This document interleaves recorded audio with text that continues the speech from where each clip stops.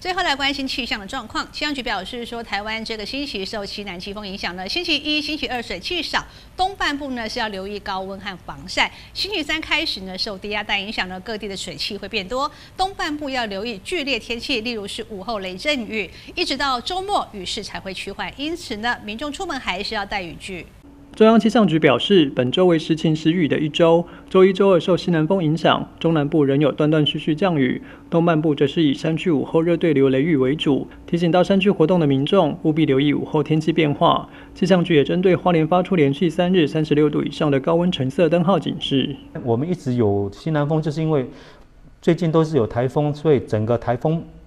把南海的水汽，然后。带着呃西呃西南风带进来，所以我们可以看到整周的天气，整个呃环境场啊，还有气压梯度，还是一个吹比较偏西南风的一个情形啊。那这一周的温度啊，其实还是蛮高的哈。只是没有下雨的时候，或是近中午的时候没有云的时候啊，温度还是其实蛮高的哈。我们可以看到说，在十四、十五的时候啊，天气大概就是比较偏向于晴时多云的一个情形啊。那我们刚才说过了，在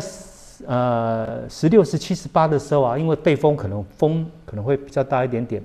然后被风吹过来，会有一些水汽进来，所以午后可能会产生一些热对流，然后产生一些局部的呃地方会有一些呃对流性的午后雷阵雨或是午后阵雨的一个情形。然后到十九、二十的时候，周周休的时候，我们可以看到天气又是一个比较晴朗的天气啊，所以我们可以看到高温啊，其实都蛮高的，就是下雨的时候温度会比较低一点点，然后没有雨的时候啊，温度大概都三十一度。周三至周五仍受西南季风影响，东半部水汽增多，降雨范围扩大，大雷雨及剧烈天气发生几率高。周六周日水汽减少，天气恢复晴朗稳定。午后山区仍有局部雷阵雨，提醒民众出门做好防晒，并留意山区天气变化。记者蒋邦彦、火连师报道。